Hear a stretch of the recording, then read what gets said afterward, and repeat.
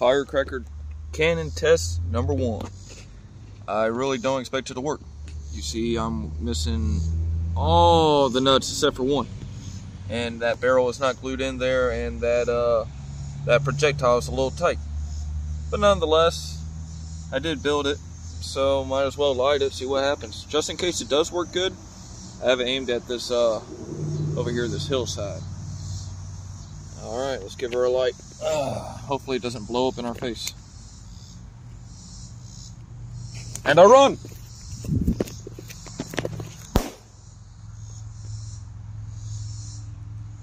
Yeah, I don't know.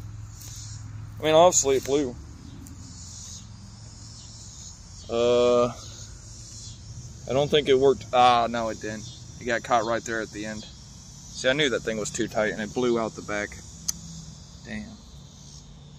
Well, it, it stayed together though, for the most part. That ain't too bad. But I knew that bullet was a little tight on there.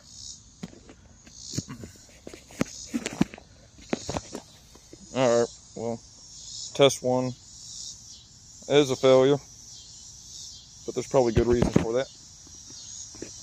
Let's head on back in and, uh, wow, the zoom feature on this thing sucks, or focus. Now let's head on back in and see what kind of modifications I could do to this. Damn. I was hoping it at least push it out of there.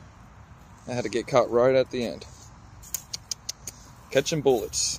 Then of course that had to let all the freaking gases free.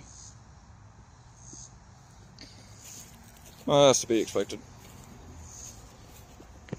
version one.